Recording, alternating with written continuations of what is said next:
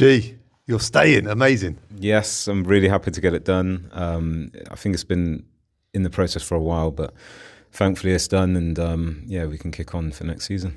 Your fifth year at Adams Park. That's that's some spell. Yeah, it's been I've been here for quite a while now. Um, I've grown a bond with with majority, if not all, the players.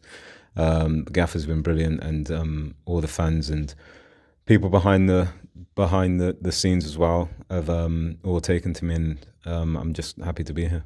You've had long spells at clubs throughout your career. What's it like having roots and being able to build and build? Yeah, so I'm not classed as a journeyman. Um, I've had three clubs in professional football. Um, and yeah, five years playing at 37. Um, still feel I can go on for quite a bit longer as well.